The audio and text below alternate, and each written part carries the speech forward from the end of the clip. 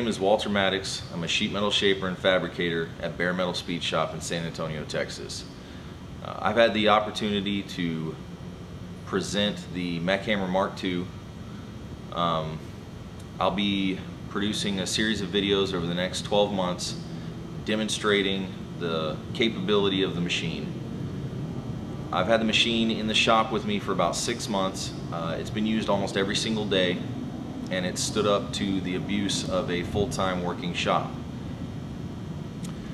I'm going to show some videos and some pictures of some of the work I've done with it, some of the projects I've used it on over the last six months.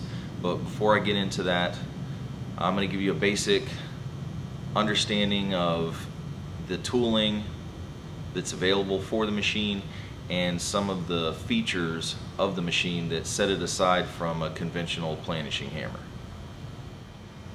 Some of the features of this machine that stand out right off the bat are the fact that it's lightweight, it's easy to move around the shop, um, it's electric, mechanical hammer, uh, can be plugged into any 110 wall outlet, there's no requirement for compressed air, uh, for hobbyists for say are interested using it at home or if you're in a shop where you don't have access to a large air compressor this is a great option.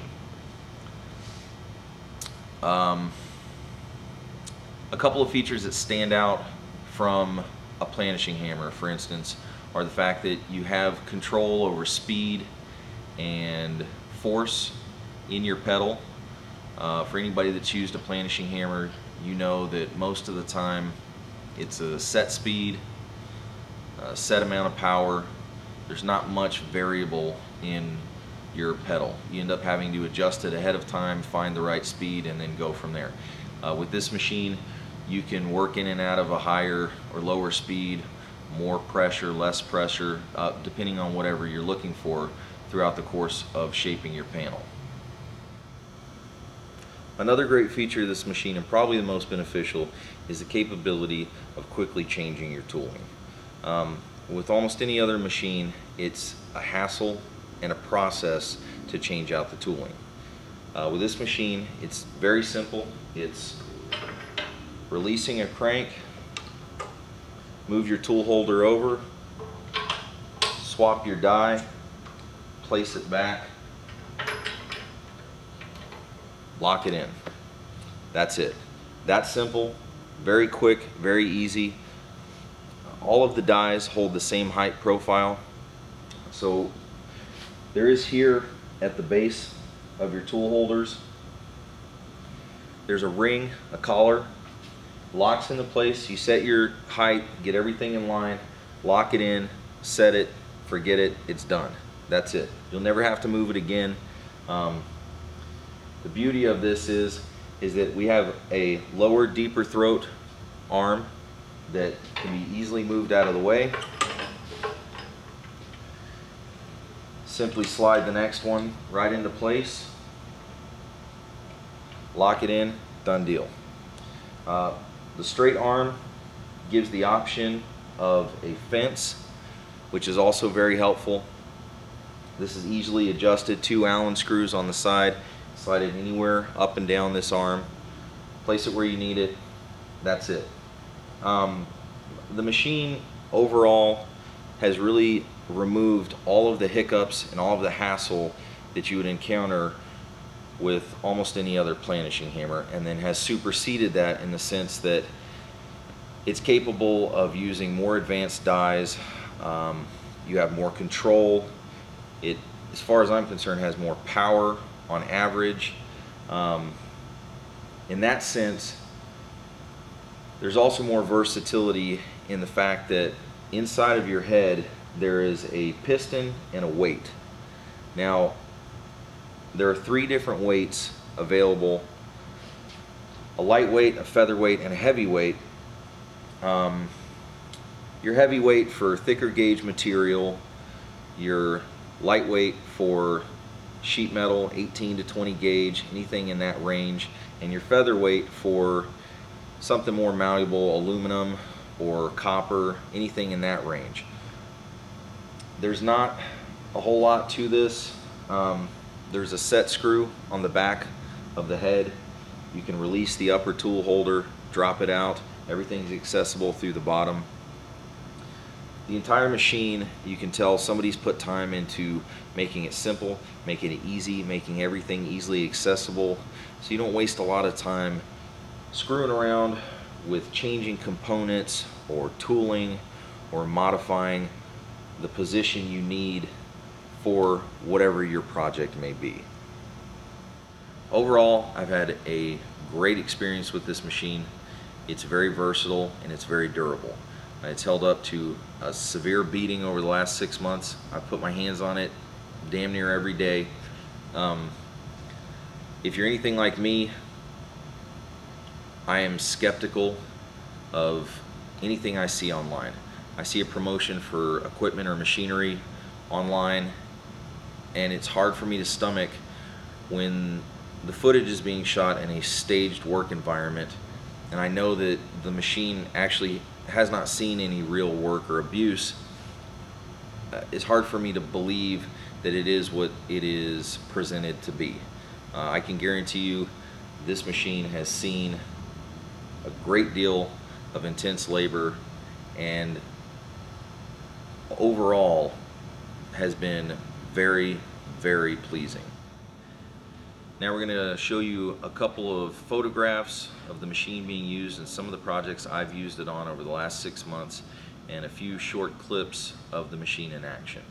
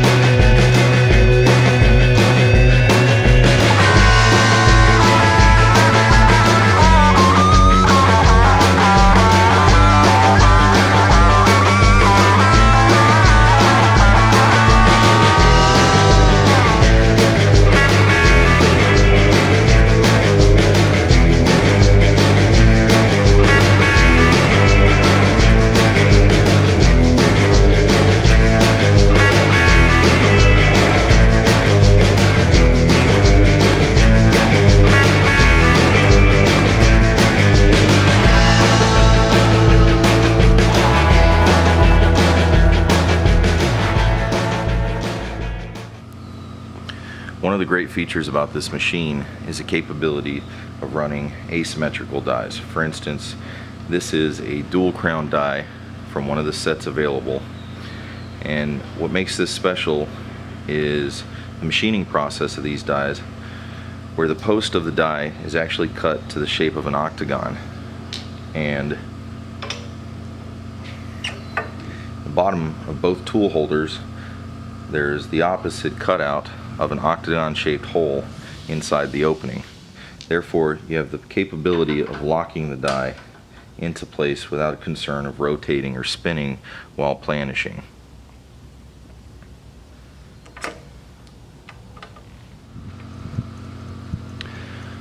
So right now I'm going to give you a quick demonstration of one of our radius dies. This is a 0.75 radius with a little piece of tester sheet I have right here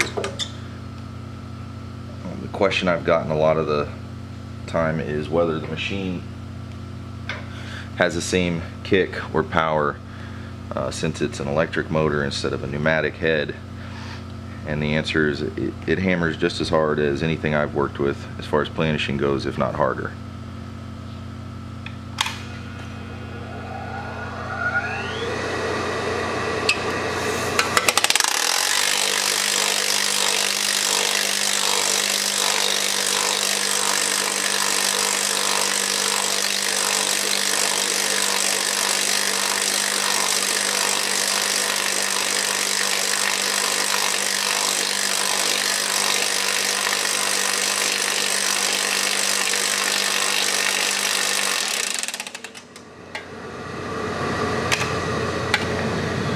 See there it moves the metal around uh, quickly with minimal effort. And note the uh, quick tool change throughout these demonstration processes.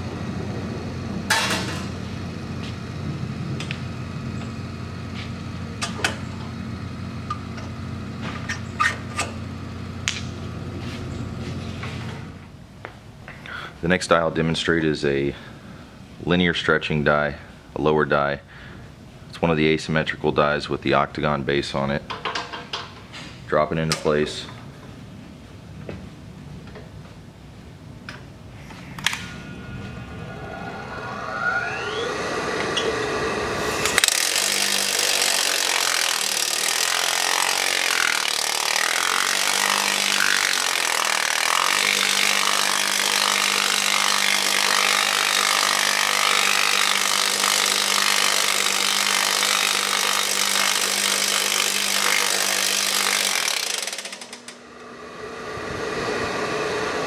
See how quickly that moves in response to that die.